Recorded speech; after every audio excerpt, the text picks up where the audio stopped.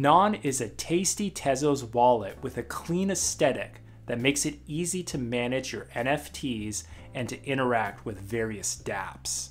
dApps, or decentralized applications, can be anything from trading platforms, DeFi, NFT marketplaces, and even gaming. Naan is a great one stop shop for Tezos newcomers and OGs alike.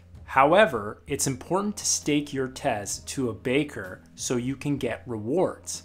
I'm going to show you how. First, open the Naan Wallet app, then hit the Settings cog in the lower right. Select Baker Delegation, and now paste in your baker's address. Press Delegate, hit Confirm, and you're all done. Easy XTZ. It'll take you about five weeks to receive your first rewards, but after that, it's every three days. I hope this video helped you out. I'm Billy from Canadian Bakin'.